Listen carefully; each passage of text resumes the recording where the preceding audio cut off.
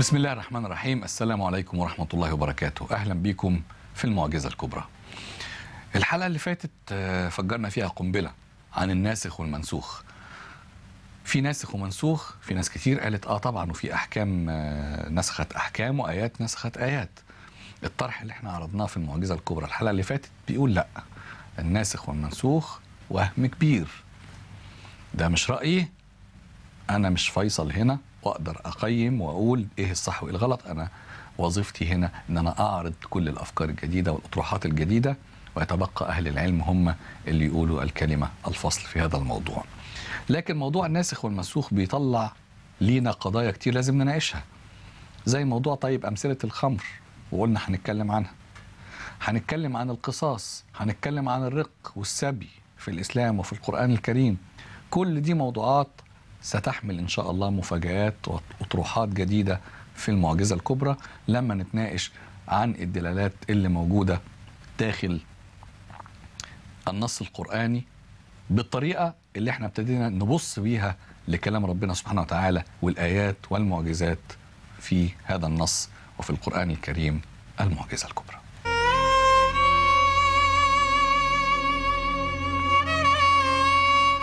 أهلا بكم مرة تانية في المعجزة الكبرى.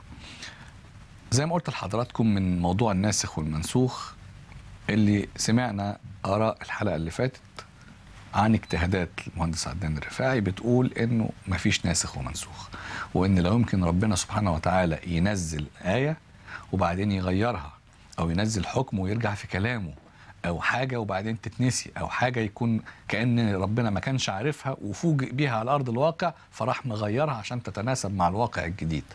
طبعا الكلام ده كلام كبير وخطير في حق ربنا سبحانه وتعالى. لكن هبتدي النهارده بقضية خرجت من النقاش في قضية الناسخ والمنسوخ وهي قضية القصاص. هل يا ترى في طرح جديد في مفاجآت جديدة؟ الآيات ممكن نقراها بشكل مختلف. ممكن مع ضيفنا المهندس عدنان الرفاعي الكاتب والمفكر الإسلامي. السلام عليكم. نقرأ كده مع بعضينا من البقرة آية 178 يا أيها الذين آمنوا كتب عليكم القصاص في القتلى الحر بالحر والعبد بالعبد والأنثى بالأنثى. البقرة 178 هم قالوا إن الحكم ده خلاص نسخ بقوله تعالى وكتبنا عليهم فيها أن النفس بالنفس والعين بالعين والأنف بالأنف والأذن بالأذن والسن بالسن والجروح قصاص فمن تصدق به فهو كفارة له ومن لم يحكم بما أنزل الله فأولئك هم الظالمون. المائدة آية 45 تعال ناخد الآيتين كده في الميزان حسب الطرح الجديد اللي حضرتك قلته في مسألة عدم وجود النسخ مطلقا. بسم الله الرحمن الرحيم. الحمد لله وسلام على عباده الذين اصطفى. تحدثنا أخي علاء وقلنا حيثما يوجد ناسخ ومنسوخ فاعلم أن هناك خطأ في فهم آيات كتاب الله تعالى. مفيش نسخ ومنسوخ. قولا واحدا. قول حضرتك. في ناس بتقول فيه. نحن سنمس يعني نحن سنمسك هذه الآيات آية آية وسنفسرها. يعني عندما فسرنا في الحلقة الماضية ولله المشرق والمغرب. فأينما تولوا فثم وجه الله. قلت لي أربع أوجه للتفسير. للتفسير. وكلها هذه كل الأوجه. هل يوجد وجه من هذه الأوجه؟ يعني في داعي لنسخه. يعني كلام. فدائما هم أقروا نسخ نتيجة عدم إدراك دلالات النص القرآني. تعال إلى هذه الآية الكريمة. الآية تبدأ بأي عبارة قرآنية؟ يا أيها الذين آمنوا. آمنوا. عندما يقول تعالى يا أيها الذين آمنوا. هذا الخطاب لجيل أم للبشرية على مر الأزمان. هي ممكن تدي المعنى كل اللي اسمع. من أكيد. اول آدم لغاية محمد صلى الله عليه وسلم. الذي يقول الله سبحانه وتعالى يا أيها الذين آمنوا يخاطب جملة المؤمنين حتى قيام الساعة. عندما نقول هذه الآية منسوخة فهذا يقتضي أن هذه العبارة يا أيها الذين آمنوا هي خطاب فقط لجزء من الجيل الأول. يعني بداية الآية بيا أيها الذين آمنوا تنفي النسخ من أساسه. هذا أولا. كتب عليكم القصاص في القتلى. ماذا يعني القصاص؟ القصاص هو تتبع أثر الشيء ذاته لأخذ القصاص منه. وقالت لأخته قصيه أم موسى عليه السلام. يعني تتبعي أثره. وفي قصة موسى عليه السلام مع العبد الصالح فارتدا على آثارهما قصصا. يعني تتبعا للآثار. وجاه منها وظيفة قصاص الأثر نعم. الناس اللي بتتبع بالضبط. والخطى القصاص هو الناس مشيت تتبع من أي الأثر طريق. معروف نعم. القصاص يا أيها الذين آمنوا كتب عليكم القصاص في القتلى يعني من هنا تعرف أنه يجب أن نتتبع أثر القاتل لنأخذ القصاص منه هو وليس من غيره. هنا لفتة في القرآن الكريم في العبارات القرآنية عندما ترد كلمتان معرفتان بأل التعريف علينا أن نميز هل هاتان الكلمتان تردان في سياق قرآني يحمل قصاص أم في سياق قرآني لا يحمل قصاص الفارق كبير إزاي؟ زين انظر في الآية التي زعموا أنها ناسخة لها. قال وكتبنا عليهم فيها أن النفس بالنفس. طيب كلمة النفس الأولى معرفة بأل التعريف.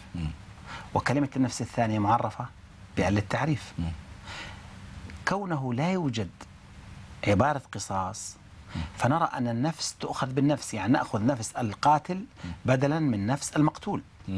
يعني كلمة النفس الأولى تعود لفرد وكلمة النفس الثانية تعود لفرد آخر. وكتبنا عليهم فيها أن النفس بالنفس والعين بالعين والأنف بالأنف والأذن وهكذا. انتبه أخي علاء قال والجروح قصاص ما قال والجروح بالجروح يعني تتبع أثر الذي قام بالجرح. تتبع أثره ذاته لأخذ القصاص منه هو.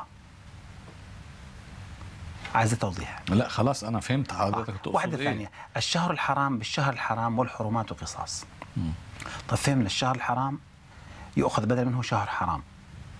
لماذا قال والحرمات قصاص؟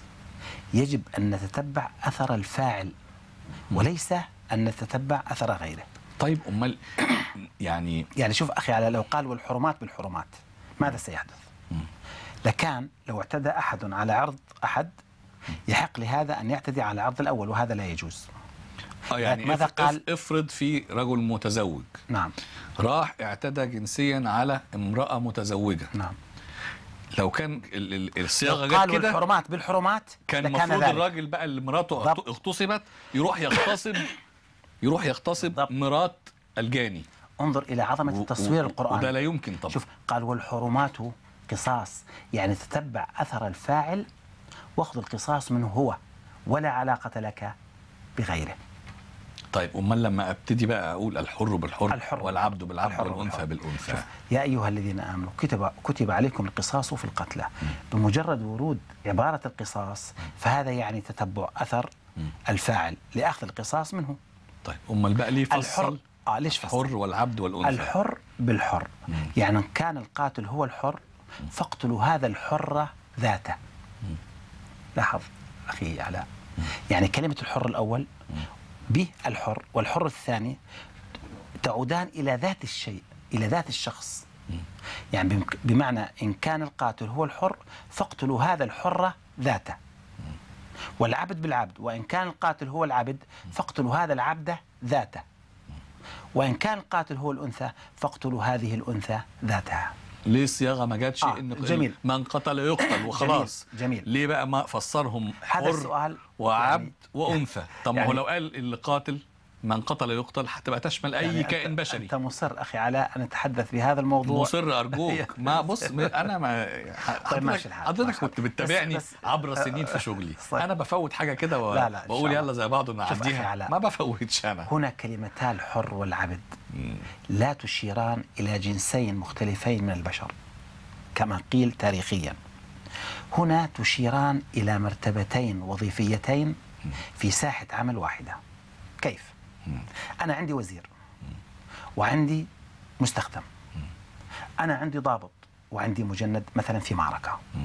في ساحة هذه المعركة الضابط هو الذي يعطي الأوامر لمن؟ للمجند.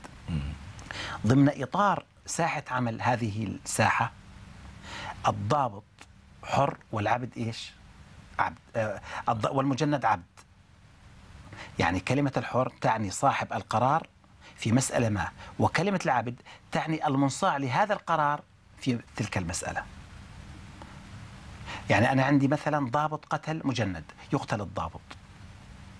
طيب وزير حسب, قتل مستخدم يقتل الوزير. حسب توصيف حضرتك؟ يعني كلمة الحر تعني صاحب القرار الحر يعني يستطيع أن يتخذ قرار في هذه المسألة. كلمة العبد الذي لا قرار له في هذه المسألة. بذات المرتبة الوظيفية. يعني نحن نحن كنا نريد أن نؤجلها إلى مس- مسألة العبيد والمكلمين ولكن لا بأس.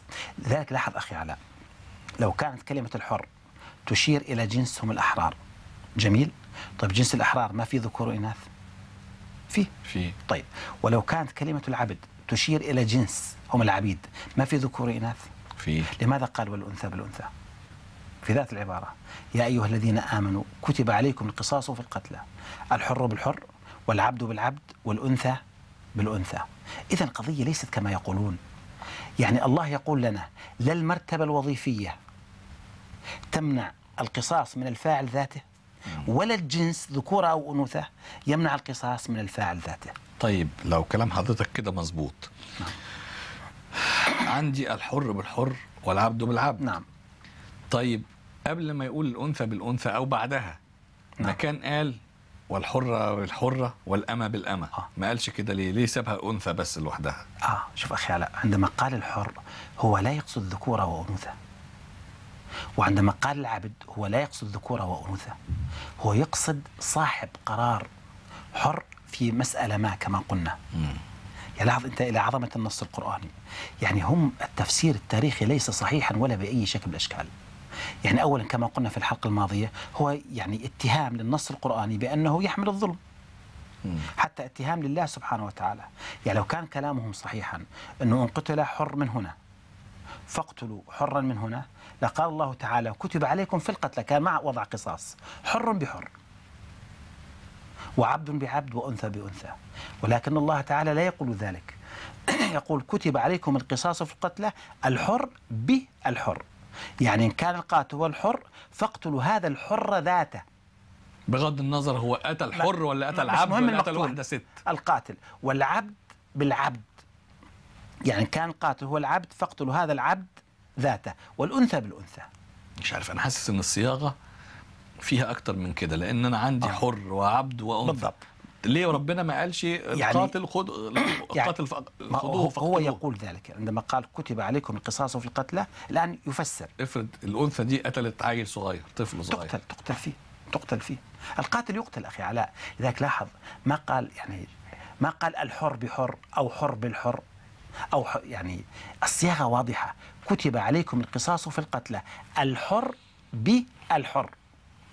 يعني شوف أخي علاء لو كان مثلا قتل حر هنا الحر معلوم لأنه مقتول. بس اللي قتله عبد. اللي هو يعني افرض بالطرف الثاني. اقتلوا واحد ما كان قال حر بالحر أو الحر بحر. تقصد لو لأنه كانت واحد معرفة آه. واحد نكرة. تقصد لو كانت الصياغة جت كده؟ بالضبط. يبقى ده يعني مبرر لبعض الناس اللي بتاع بترتكب جرائم الآثار فقر بالضبط إن بالضبط. أقول لك هم قتلوا من قبيلة بتاعتنا أو من عيلتنا واحد بناء نقتل على منهم. واحد. مش مهم الواحد ده وخلاص المهم نقتل منهم هم حد. فرضوا تصوراتهم القبلية على الآية الكريمة. آه. لاحظ أخي علاء قتل هنا عندي واحد حر. أليس هو معرفة؟ مم. معروف فلان قتل. لو كان أقتلوا حرا ما من الطرف الثاني لقال الله تعالى كتب عليكم في القتلى حر بالحر. يعني كان هذا ظل بقي معرفة وذاك نكرة. أو الحر بحر. أما الله تعالى لا يقول ذلك. يقول كتب عليكم القصاص في القتلى. يعني تتبعوا أثر القاتل وخذوا القصاص منه يعني من ذاته. بغض النظر هو حر ولا النظر. عبد ولا ست رجع. ولا عي عاد بعد ذلك فصل. قال لا المراتب الوظيفية تمنع من القصاص. يعني الحر بالحر والعبد. ولا الجنس ذكورة وأنوثة يمنع من هذا القصاص. إذا القاتل يقتل. هكذا تقول الآية. وهذه الآية متكاملة مع الآية التي زعموا أنها ناسخة لها لذلك انظر أخي علاء عظمة الإعجاز القرآني لو أخذنا القيمة العددية لهذه العبارات التي قالوا بأنها منسوخة مم. زائد القيمة العددية للآية التي قالوا بأنها ناسخة لها لوجدنا المجموع المضاعفات لعدد 19 دون باقي. يعني نحن بس- بسريع يعني يقول تعالى يا أيها الذين آمنوا كتب عليكم القصاص في القتلى. الحر بالحر والعبد بالعبد والأنثى بالأنثى. قيمتها 481 مم. ويقول تعالى وكتبنا عليهم فيها أن النفس بالنفس والعين بالعين والأنف بالأنف والأذن بالأذن والسن بالسن والجروح قصاص فمن تصدق به فهو كفارة له ومن لم يحكم بما أنزل الله فأولئك هم الظالمون. 906 الآن 481 زائد 906 يساوي 1387 يساوي 16 في 73 إذا هاتان العبارتان أخي علاء متكاملتان في المعنى كما شرحنا لغويا ومتكاملتان أيضا في الأرقام. إذا لا يوجد تناقض في القرآن لا يوجد اختلاف. ولو كان من عند غير الله لوجدوا فيه اختلافا كثيرا. لماذا زعموا نسخ هذه الآية؟ أسقطوا تصوراتهم القبلية على هذه الآية. يعني مثلا قتل حر من هنا اقتلوا حرا ما من الطرف الآخر. طب افرض هذا الحر قتلته امرأة نترك الامرأة القاتلة ونذهب إلى إنسان بريء لنقتله. هذا. الفهم الخاطئ دفعهم لكي يقولوا بنسخ هذه الآية. عندي ملحوظة. الآيتين اللي حضرتك ذكرتهم نعم. الأولى اللي هي الناس المفسرين قالوا إن هي منسوخة. نعم. اللي هي في سورة البقرة. يا أيها الذين آمنوا. نعم. وحضرتك فسرت إن النداء لكل الاتباع في كل زمان ومكان إلى قيام الساعة. كويس. بينما الآية الثانية اللي بتبتدي وكتبنا عليهم على بني فيها. عائدة على بني إسرائيل على بني إسرائيل. لأن صحيح. في ناس كانت. بتتكلم وبتقول إن يعني أهو في القرآن الكريم بيدعو دايما للاعتداء وإن عدم المسامحة بينما مثلا في العقيدة النصرانية ها إن المسيح عليه السلام من لطمك على خدك الأيمن فأدر له خدك هنا وفي. وإن هو يعني نسب إليه أنه قال عليه السلام أحبوا أعداءكم وباركوا لاعنيكم. فبالتالي يبقى في العقيدة النصرانية في مسامحة ومودة و... وسلام بينما الإسلام دين عنيف. أهو بيقول العين بالعين وال- والسن بالسن والأنف بالأنف والأذن بالأذن نعم. يبقى ده ونسيوا إن ال- ربنا بيتكلم هنا أكيد صحيح. عن بني إسرائيل صحيح. وكتبنا عليهم عليهم فيها فيها في التوراة. صحيح. يعني هم أصلا بالنفس. قولهم بأن هذه الآية تنسخ هذه العبارات. هو بالأصل أخي علاء ليس سليما. يعني هي الفكرة من أساسها ليست سليمة. مم. لا وخدت بال حضرتك إن نهاية الآية نعم. ربنا بيحض على آه، التصدق. فمن تصدق. فمن. تصدق به يعني فهو بال- بال- كفارة بال- له. بال- بالج- بالجرح بتاعه أو بال- بالأذى اللي أفضل بكون أفضل. فمن تصدق به فهو كفارة كفارة له. ومن لم يحكم بما أنزل الله فأولئك هم الظالمون. يعني يا أهل التوراة إن لم تحكموا بالتوراة التي. أنزلت إليكم. فأنتم ظالمون. جميل. طيب. يعني ما أريد أن أقوله أخي علاء. الفهم الخاطئ لدلالات الآيات الكريمة هو الدافع الأول وراء الزعم بنسخها مم. هذا قانون هاخد فاصل وأسأل حضرتك عن قضية تانية نعم زي موضوع ال- الوصية آه كويس كتب عليكم آه نعم. إذا حضر أيضاً الموت هذه قالوا ترك خيرا. الوصية للوالدين صحيح. والأقربين بالمعروف بالمعروف حقاً حقا, على المتقين. البقرة 180 وبعدين اتقال إن بعد كده حصل نسخ في آيات المواريث آه، يعني التي نسخت هذه الآية نعم. نسخت الأحكام اللي موجودة في هذه نعم. الآية هقول برضو يعني ده مع الآيات عشان نحطها برضو على. ميزان الفصل ولكن بعد الفاصل تابعونا مرة أخرى والمعجزة الكبرى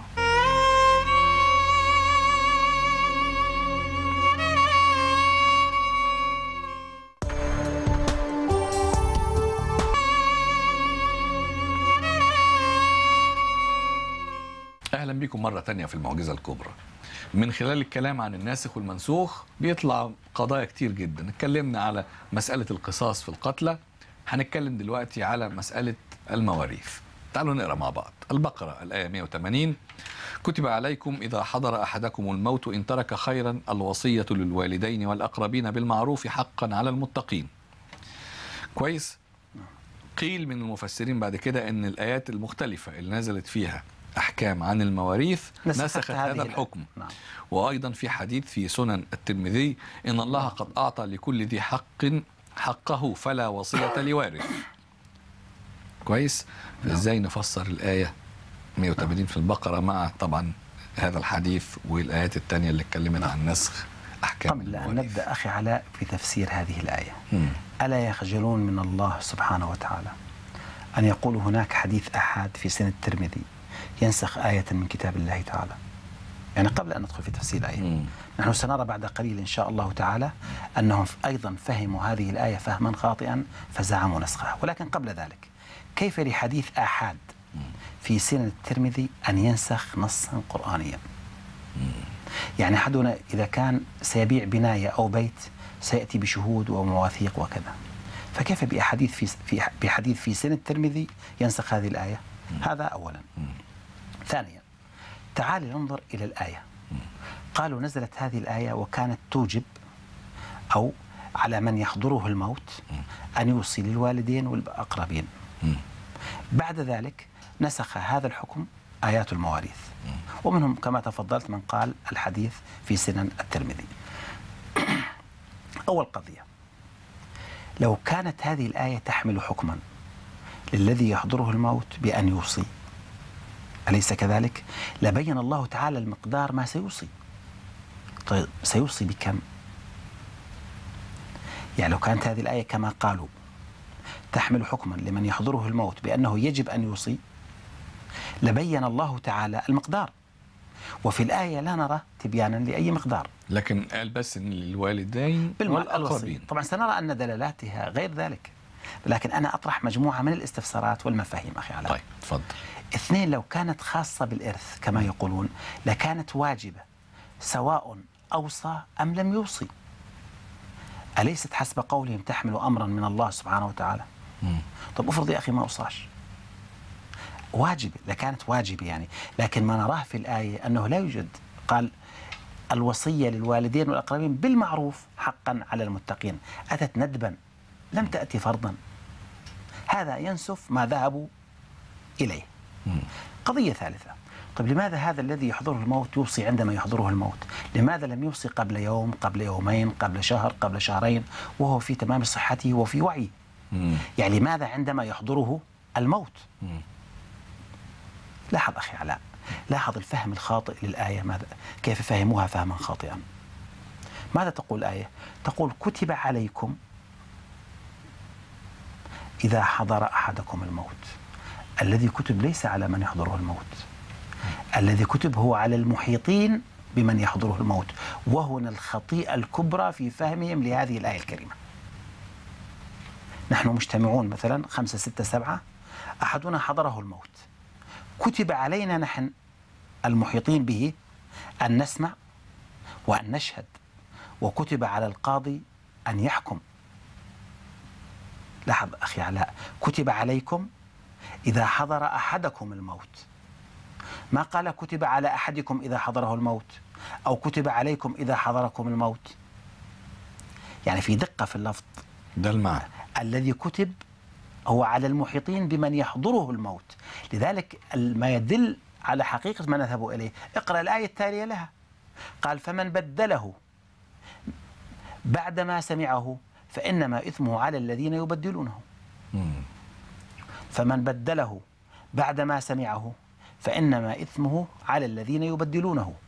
إذا القضية ليست بمن مات القضية بالمحيطين بمن يحضره الموت.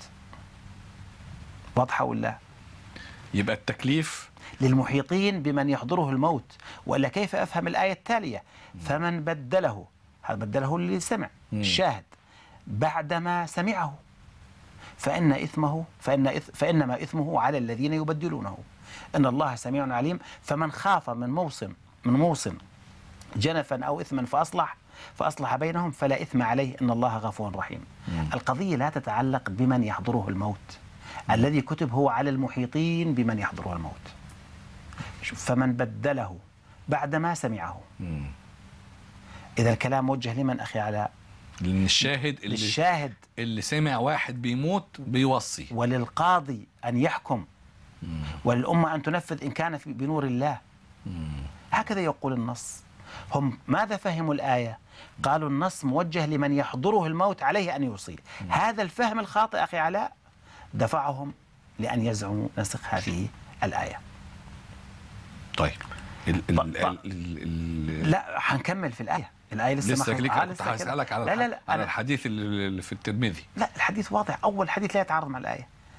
قال يعني أن الله قد أعطى لكل ذي حق حقه. فلا وصية لوارث. يعني ملوش علاقة في الموضوع. اثنين أفرض له علاقة يعني. مم. يعني كيف لحديث في سنة الترمذي يا أخ علاء. أن ينسخ آية في كتاب الله تعالى. يعني الوهلة الأولى قبل أن ندخل في تفسير هذه الآية. تقصد يعني منطقا إنه ما ينفعش ربنا ينزل آية وبعدين يجي كلام مستحيل. يلغيها. ما يبدل القول لدي. ولو كان من عندي غير الله لوجدوا فيه اختلافا كثيرا. شوف أخي علاء كتب مذكر أم مؤنث؟ مذكر. آه. الوصية مذكر أم مؤنث؟ مؤنث. طيب إذا الكتب ليس الوصية. مش كتبت يعني. مش كتبت. هذه واحدة. هم يقولون إذا تم فصل الفعل عن الفاعل تجوز المخالفة. يعني تقول مثلا جاء إلى القاهرة الدكتورة فلانة. يعني تم فصل الفعل عن ماذا؟ عن الفاعل نقول لهم يجوز ولكن هنا لا يجوز. لأن قوله تعالى فمن بدله بعدما سمعه يدل على أن الذي يعني الذي بدل الذي كتب ليس الوصية. ما قال فمن بدلها أخي علاء. يعني الذي كتب مذكر. لأنه يعني السماع هذه هذه قضية مهمة جدا في تفسير هذه الآية. فمن بدله يعني الذي كتب. بعدما سمعه ما قال فمن بدلها؟ إذا كتب السماع. والوصية مبتدأ. أنا عندي يعني نحن لا نريد أن ندخل في الإعراب ولكن أن الوصية هنا يعني ليست نائب فاعل كتبة. يعني مش كتب الوصية هي مبتدأ. يعني الوصية تحق حقا للوالدين والأقربين معروف على المتقين طيب أنا عندي برضو آية تانية. يا أيها الذين آمنوا شهادة بينكم. نعم. شهادة شهادة بينكم. نعم. إذا حضر أحدكم الموت جميل. حين الوصية. هذه تؤكد ما اثنان نذهب ذوى عدل منكم أو آخران من هذه غيركم. تؤكد ما نذهب إليه. اقرأها الآية. اقرأها الآية. حبة حبة. يا أيها الذين آمنوا. نعم. شهادة بينكم إذا حضر أحدكم جميل. الموت. الكلام موجه لمن يحضره الموت أم لمن يح... للشاهدين؟ للشاهدين. خلاص انتهى الموضوع. وهنا كتب عليكم للشاهدين إذا حضر أحدكم الموت. تلك الآية تؤكد أخي علاء صحة ما نذهب إليه. إذا لاحظ أخي علاء هنا قضية مهمة. الفهم الخاطئ للنص القرآني دفعهم للزعم بنسخها. إذا حيثما ترى ناسخا ومنسوخا فاعلم أن هناك فهما خاطئا لدلالات كتاب الله تعالى. طيب أنا عندي مثلا في صحيح البخاري. سيبك نعم. من سنن الترمذي. نعم. دلوقتي تعال نروح لصحيح البخاري. نعم. لا وصية لوارث. نعم. يعني إذا والله هذه القضية يا أخي على يعني يعني الله عندما قال من بعد وصية يوصي بها أو دين. لم يضع استثناء. يعني أنا لا أريد أن أدخل في هذا الموضوع. يعني أنا أقول الرواية ليست حجة على كتاب الله تعالى. طيب أقول لك حاجة قولا تانية. واحدا. طيب. مهما كانت الرواية. طيب استنى بس. في صحيح البخاري. حديث الوصايا نعم. الترقيم 2747 نعم. حدثنا محمد بن يوسف عن ورقاء عن أبي عن ابن أبي نجيح عن عطاء بن عن أبي عن أبي عن ابن عباس قال كان المال للولد وكانت الوصية للوالدين فنسخ الله من ذلك ما أحب فجعل للذكر مثل حظ حظ الأنثيين وجعل للأبوين لكل واحد منهما السدس وجعل للمرأة الثمن والربع وللزوج الشطر والربع. كان أين؟ يعني هل يوجد نص قرآني يحمل هذا الكلام لنقر معهم أنه يوجد ناسخ ومنسوخ؟ أنا بقول لك إنه موجود في صحيح البخاري. أخي علاء يعني نحن لا نريد يعني أن نتهم بأننا ننكر السنة أو كذلك. صحيح البخاري ومسلم والكافي عند الشيعة وغير ذلك كلها روايات تاريخية تحمل من الحق بمقدار ما تتطابق مع كتاب الله تعالى. كل ما خالف كتاب الله تعالى هو باطل. يعني بمعنى هو ليس من السنة يعني بمعنى هو مفترى على محمد صلى الله تعالى عليه وسلم.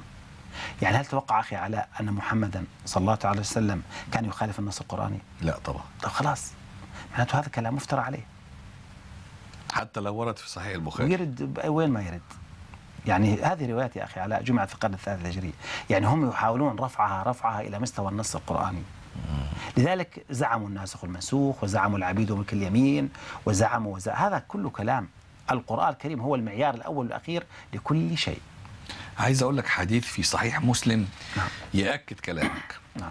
يأكد رؤيتك للآية الأولانية نعم. اللي الناس قالت إنها نسخت. نعم.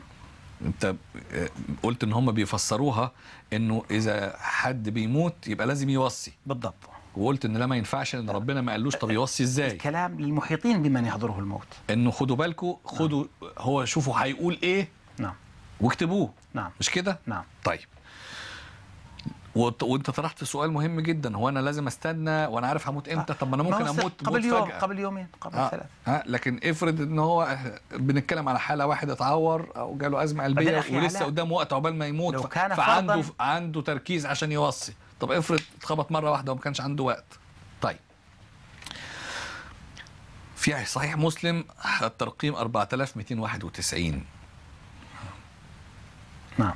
حدثنا أبو خيثمة زهير بن حرب ومحمد بن المثنى العنزي واللفظ لابن المثنى قال حدثنا يحيى وهو ابن سعيد القطان عن عبيد الله أخبرني نافع عن؟ ابن عمر أن رسول الله صلى الله عليه وسلم. لا استنى بس خد وبعد كده قول لي قال ما حق امرئ مسلم له شيء يريد أن يوصي به يبيت ليلتين إلا طيب. وصيته مكتوبة عنده لكان لماذا يبقى وينتظر هو أصلا هل يعلم متى يحضره الموت الإنسان؟ لا. طيب الفهم خاطئ من أوله إلى آخره يا أخي علاء. هم فهموا الآية أن الخطاب الإلهي موجه لمن يحضره الموت. هنا مكمن الخطأ. مم. لو فهموها فهما صحيحا لما قالوا بنسخها. وهكذا كل آيات الناسخ والمنسوخ. أفهام خاطئة. كان الحل انسخ. طيب اذا يعني أنا عندي حديث كتير أنا مش عايز أ- يعني أكرر حديث لكن صحيح مسلم في آه، نعم. يعني حاجات كتير عن الوصية. برضو نفس علاء نفس الكلام. أخي علاء نعود للمشكلة الأولى. نفس إن لم نعتبر كتاب الله تعالى معيارا للروايات ولفهمنا ولفقهنا ولعقيدتنا فسنضل. هذا كلام واضح. يعني رأيت أحاديث الدجال المرة الماضية. آه. أنا أتيت لك بثلاث أحاديث. مئات الأحاديث أخي علاء لا يجمع بينها رابط اقرأ أحاديث المهدي المنتظر مم. أيضا لا تصل إلى نتيجة يعني كل مذهب فصل له يعني مهدي منتظر حسب ما يريد عند أهل السنة حاجة وعند طبعا الشيعة وعند حاجة الشيعة. في خلاف وعند السنة في خلاف مم. وكل واحد حط دجال كما يريد طب أين هذا الكلام في كتاب الله تعالى؟ طيب قضية مهمة أخي علاء كالدجال والمهدي المنتظر. لماذا لم تذكر لها إشارة في كتاب الله تعالى؟ يا أخي فرعون ذكر عشرات المرات في القرآن. صحيح الكلام. مم. طيب لماذا الله سبحانه وتعالى قضية مهمة إن كانت صحيحة لماذا لم يذكر لها ولو إشارة في كتاب الله تعالى؟ الذي قال عنه ونزلنا عليك الكتاب تبيانا لكل شيء. خلص. لماذا هو ليس مو- تبيانا للمهدي المنتظر وللدجال يعني؟ ما دام تبيانا لكل شيء. كان من المفروض يعني لو كانت الأمور صحيحة أن يكون تبيانا للدجال والمهدي المنتظر. أما القضية كلها قضية روايات. جمعت في القرن الثالث هجري. أنا عندما قلت لك انتظرني كنت أقول انظر حدثنا حدثنا. ويقولون لك جمع الحديث في عصر رسول الله كيف جمع؟ لماذا حدثنا إذن؟ ما دام جمع. يعني هل قرأت مرات نصا قرآنيا؟ حدثنا فلان عن فلان عن فلان. لا. قل هو الله أحد؟ لا. لأنه كتب بعصر الرسول. طب هل قرأت حديثا مكتوب في بدايته هذا مما كتب من صحيفة كذا أو بين يدي الرسول؟ كله حدثنا سمعنا أخبرنا. حديث يا أخي على جمعت في القرن الثالث الهجري يريدون فرضها على الأمة على أنها دين. نقول لهم نحن لا ننكرها.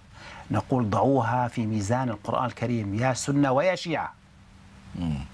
ستتحدون وستسيرون في سبيل واحد هو كتاب الله تعالى. انت قريت كتاب الأستاذ جمال البنا آه، جناية قبيلة حدثنا في كثير في جنية البخاري لا زكريا كثيرون الذين يتكلم بهذا الكلام. أخي علاء أي إنسان أي إنسان أي إنسان يقرأ هذه الروايات؟ يعني وبهدوء وبتجرد سيرى الحقيقة. أنا مش حابب أخش في صراعات لكن بالضبط. أنا كرجل. لكن لا تجعلوا هذه صحيح. الروايات يا أخي حجة على القرآن. لا نريد منهم شيئا نحن. هم ماذا يريدون؟ يريدون أن يجعلوها حجة على القرآن. انظر يقول لك ينسخ الآية. حديث احاد ينسخ ح- قرأنا قبل شوي. إن الله قد أعطى لكل ذي حق حقه. فلا وصية لوارث. قرأته قبل شوي قبل قليل. هذا الحديث زعموا أنه ينسخ القرآن. طيب كيف حديث ينسخ القرآن؟ يعني أين كرامة القرآن؟ العبد الضعيف إلى الله رسالته إنه يبين الحقيقة للناس. حضرتك. بتقول طرح طبعا بتقول لا, وجهة نظر. نمسك سيفا للآخرين في في وجهات نظر أخرى؟ آه، يتفضلوا.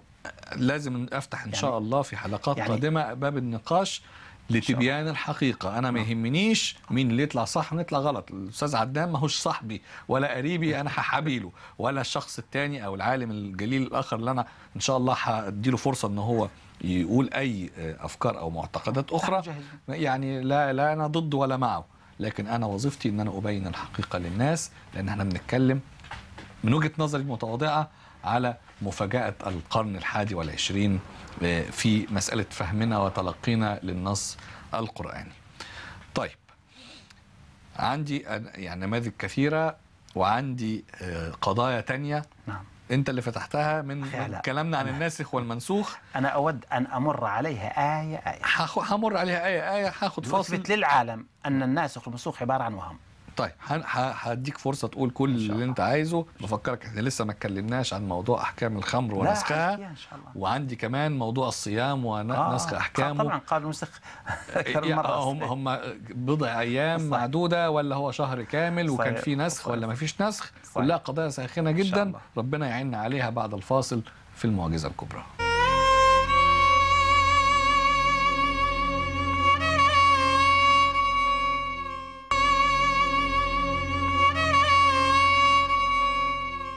أهلا بكم مرة تانية في المعجزة الكبرى. هنتكلم عن الصيام فرضية الصيام وعندي آيتين وهنقراهم ونشوف هل في أحكام نسخت أحكام ولا لأ. هقول لكم اللي كان مشهور عند الناس إن الصيام كان أيام معدودة ما كانش شهر كامل وربنا بعد كده نسخ هذا الحكم بإنه قال شهر رمضان الذي أنزل فيه القرآن فمن شهد الشهر فليصمه يبقى شهد الشهر كله يصوم الشهر ال 30 يوم. وبعدين الحكم القديم كان بيتقال اللي يطيق الصيام ويقدر يصومه بس مش عايز يصوم يدفع فدية يدفع فلوس. التخفيف ده اتشال لما نزلت الآية اللي بعد كده واتقال لأ ما دام حضرتك صحيح وما انتش مريض وما انتش مسافر وحضرت شهر رمضان لازم تصوم ال 30 يوم. تعال نقرأ كده الآيات مع بعض. سورة البقرة 183 184 بسم الله الرحمن الرحيم. يا أيها الذين آمنوا كتب عليكم الصيام كما كتب على الذين من قبلكم لعلكم تتقون. أياما معدودات. فمن كان منكم مريضا أو على سفر فعدة من أيام أخر. وعلى الذين يطيقونه فدية طعام مسكين. فمن تطوع خيرا فهو خير له. وأن تصوموا خير لكم إن كنتم تعلمون. وفي تخيير اهو نعم. الصوم أحسن لو أنت عايز يعني. الكلام ده اتقال إنه يعني ناسخ لصوم يوم عاشوراء ومعنى الآيات حسب الناس ما قالت إنه يعني كتب عليكم صيام ثلاث أيام من. كل شهر أيام معدودة. الآية دي نسخت بالآية اللي بعدها شهر رمضان. اللي هي فيها شهر رمضان نعم. البقرة 185 بسم الله الرحمن الرحيم. شهر رمضان الذي أنزل فيه القرآن هدى للناس وبينات من الهدى والفرقان. فمن شهد منكم الشهر فليصمه ومن كان مريضا أو على سفر فعدة من أيام أخر يريد الله بكم اليسر ولا يريد بكم العسر ولتكملوا العدة ولتكبروا الله على ما هداكم ولعلكم تشكرون البقرة 185 هل 185 نسخت الأحكام اللي في 183 و184 ولا أخي لا؟ على. أولا الآية 183 تقول يا أيها الذين آمنوا هل يا أيها الذين آمنوا هو خطاب لجزء من الجيل الأول مستحيل. هذا أولا. لكل الجيل. حتى قيام الساعة. الله تعالى يخاطب جملة المؤمنين في العالم. فيقول لهم يا أيها الذين آمنوا. إذا أنا كل يا أيها الذين آمنوا بدي أفهمها للجيل الأول فهذه مشكلة. لا هنا مشكلتهم. هم لم يروا القرآن الكريم إلا في الجيل الأول. يعني وضعوا الجيل الأول سقفا وساروا تحته. هذه مشكلتهم. تحدثنا نحن عن ذلك في تدرج الرسالات السماوية وفي تحدثنا كثيرا عن الموضوع. تعال ننظر في الآية في هذه الآية الكريمة. أولا من أين أتوا بصيام ثلاث أيام كل شهر وما بعرف إيش ويوم عاشوراء؟ هل يوجد في النص هذا الكلام؟ لا. يعني هل رأيت أنت في هذه الآيات التي قرأتها قبل قليل هل يوجد صوم ثلاث أيام؟ كلمة أيام معدودات بتدي إحساس إنها آه. حاجة معدودة ممكن تعد على أصابع اليد الواحدة. صحيح. طيب نفهم إيه من الموضوع؟ مم. تعال تنحلل الآية. أولا ماذا ترى في الآية؟ هل الله يا أخ علاء ينسخ ما هو يسر ولا ينسخ العسر؟ إن كان نسخ هو فيش نسخ من أصله. يعني هل الله تعالى ينسخ اليسر؟ الله لا ينسخ اليسر. الآية يعني لاحظ الآية ماذا قال؟ يريد الله بكم اليسر ولا يريد بكم العسر. طبعا العسر اليسر يعني في هذه شهر رمضان الذي أنزل فيه القرآن هدى للناس وبينات من الهدى والفرقان. فمن شهد منكم الشهر فليصم ومن كان مريضا أو على سفر فعدة من أيام أخر يريد الله بكم اليسر ولا يريد بكم العسر. إذا هذه الآية تحمل يسر بين بناء على فهمهم. تقصد إن عسر. إن هنا شكل الحكم اتصعب شوية. حسب حسب كلامهم. الصيام كان 3 4 أيام. يعني كان سهل صار صعب حسب كلامهم. بقى شهر. يعني الثلاثه انضربوا في 10 بقوا 30 طيب. وبعدين كان في اللي مش عايز يصوم يدفع فدية. يعني تصاعدي. ها؟ ال- ال- القساوة تصاعدية. بينما أرى في النص عكس ذلك. اتشالت الايه الفدية آه. دي وبقت على طول إيه يعني- ال ال البس ال ال يعني- ال الرخصة للمريض أو مسافر. لكن. اللي مش عايز يصوم ده وكان في رخصة ليه إن هو يدفع فلوس أو هذا قولهم حد. أخي علاء. ده ما أنا بقول لك الرأي اللي بيقول كده. أنت. امال حضرتك رأيك إيه؟ أنا رأيي أن الآية التي زعموا أنها ناسخة يقول الله تعالى بها يريد الله بكم اليسر ولا يريد بكم العسر. إزاي ثلاثة بقوا 30 وربنا آه، كده بيسر كيف يعني بناء على قولهم؟ ما هو هذه الآية أحكامها أصعب من السابقة وهذه يسر. هذا ينقض ما يذهبون إليه. كويس. هناك ملاحظة أخي على ماذا تلاحظ في الآيتين؟ هناك جملة تتكرر ما بين الآية النص الذي زعموا أنه منسوخ والنص الذي زعموا أنه ناسخ له. ما هي ما هما عبارة نفس العبارة تقريبا. قال فمن كان منكم مريضا أو على سفر فعدة من أيام أخر. وقال أيضا في الآية الأخيرة ومن كان مريضا أو على سفر فعدة من أيام أخر. ماذا نفهم من هذا الكلام أخي علاء؟ طب لو. كان لو كان يتكلم عن نفس المسألة لماذا يكرر هذه العبارة؟ مم. شوف أخي علاء الآية الأولى والثانية تتحدثان عن الصيام بإطاره العام. طب نحن كم فرض يعني في في القرآن الكريم؟ الذي يحلف اليمين. على كفارة الصوم؟ كم مرة ذكرت في القرآن؟ الذي يقتل مؤمنا خطأ. شاف أخي علاء؟ الآية الأولى والثانية تتحدثان عن الصوم بإطاره العام. مم. الآية الثالثة التي زعموا أنها ناسخة تختص بشهر رمضان. بدليل أنها بدأت بالعبارة شهر رمضان. شهر رمضان الذي أنزل فيه القرآن هدى للناس وبينات من الهدى والفرقان فمن شهد منكم الشهر فليصم. هم لم ينتبهوا لقضية أن الآية الأولى والثانية تتحدث عن عن الصوم بإطاره العام. لذلك ترى فيها أخي علاء وعلى الذين يطيقونه فدية طعام مسكين فمن تطوع خيرا فهو خير له. صيام التطوع. وأن تصوموا خير لكم إذا الآية الأولى والثانية تتحدث عن الإطار العام للصوم الذي فيه التطوع فيه الكفارة فيها خيارات أحيانا تختار بين الفدية وبين الصوم. الآية الثالثة هي آية خاصة بشهر رمضان. ولا تعارض بين بين هذه الآيات أبدا. طيب. أعيدها ولا لا لا لا استنى بس عشان أنا يعني في مسألة ال يعني أخي علاء الصيام التطوع. صيام الكفارات. أنت انظر إلى الآية 184 قال أياما معدودات. فمن كان منكم مريضا أو على سفر فعدة من أيام أخر. وعلى الذين يطيقونه فدية طعام مسكين. فمن تطوع خيرا فهو خير له. عن قضية أخرى غير شهر رمضان. وأن تصوموا خير لكم إن كنتم تعلمون. الآن الآية التي تليها قال شهر رمضان. الآن بدأنا بمسألة جديدة مختلفة عن المسائل السابقة. طيب في صحيح مسلم الترقيم 2741 نعم. حدثنا قتيبة بن سعيد حدثنا بكر يعني ابن مضر عن عمرو بن الحارث عن بكير عن يزيد مولى سلمة وعن سلمة بن الأكوع رضي الله عنه. قال لما نزلت هذه الآية وعلى الذين يطيقونه فدية طعام مسكين. كان من أراد أن يفطر ويفتدي حتى نزلت الآية التي بعدها فنسختها. صحيح مسلم. هنا المشكلة. ما هي المشكلة هنا؟ هم ينطلقون شوف أنا قعدت أدور. تتكلم عشان أجيب لك الحديث أهو أول؟ بتاعه. شوف أخي علاء هنا المشكلة في هذه الروايات. نحن ماذا قلنا منذ البداية؟ علينا ألا نجعل من هذه الروايات حجة على كتاب الله تعالى. جعلت حجة على كتاب الله تعالى فزعم النسخ. طب عندي ملحوظة. في الحديث اللي أنا قريته. نعم. زي ما قلت لحضراتكم الحديث في صحيح مسلم يعني حديث صحيح في في في في صحيح ال- الإمام مسلم وترقيمه 2741 نعم. كويس كده؟ خدتوا بالكم حدثنا عن عن عن عن عن آخر اسم خالص؟ عن سلمة ابن الأكوع نعم. رضي الله عنه قال لما نزلت هذه الآية نعم. فين الرسول صلى الله عليه وسلم هنا في الحديث؟ هذا معروف في الحديث أخي علاء. يعني نحن لا نريد أن ندخل في في أنواع الحديث لكن مهما كان الحديث أخي علاء يعني افرض قال قال رسول الله صلى الله عليه وسلم افرض هذا الحديث. يعني ما الذي يعني يجعلني أؤكد أن هذا الحديث صحيح؟ مم. وكيف أجعل مثل هذا الحديث حجة على كتاب الله تعالى؟ كما فعلوا في المرة السابقة عندما قالوا ينسخ الآية التي رأيناها في سورة البقرة. الحديث اللي بعده على على طول برضو عن نفس الشخص عن سلمة. كويس؟ نعم.